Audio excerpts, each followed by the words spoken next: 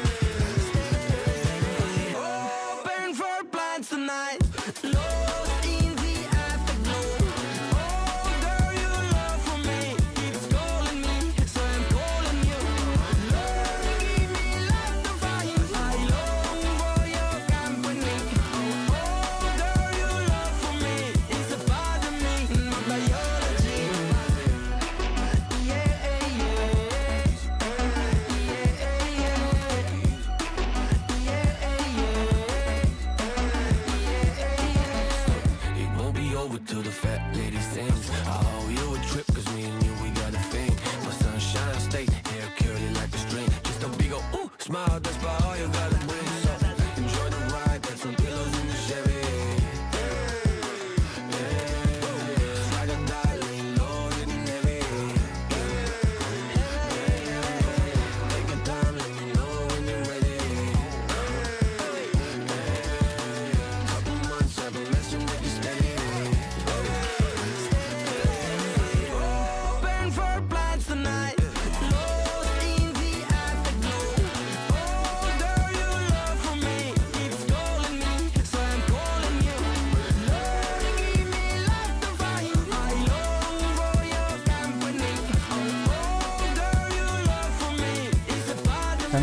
welcome back after we've just finished off building our new farm. So we kept the original uh, how the farm was sort of laid out with the farmhouse and the small shed down there. And yeah, so um, as you saw, we put these all these bushes in. Tried to make it. I don't know. I don't really know what the word is. Do with a little bit there and there. Come out, got some lights and stuff. But yeah, I'm overall I'm happy with how it how it is so far. Got a gateway. I think this is what was missing a bit of like structure to the farm.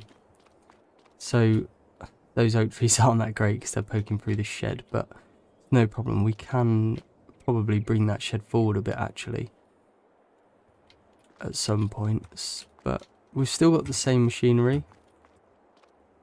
We've got now got some bees and we've got a cow shed as well.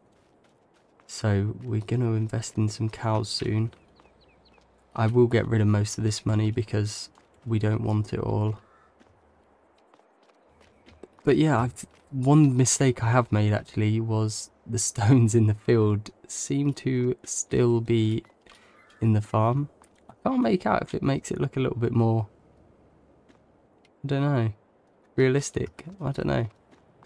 But yeah, so we've got our hay barn over here. Our hay, straw, bales, bales barn, whatever. We've got a little sheep pen here, which is good and exciting. I want to do some sheep, see how they get on. Uh, I thought this could be fertilised seed, uh, all of that sort of thing, that sort of barn.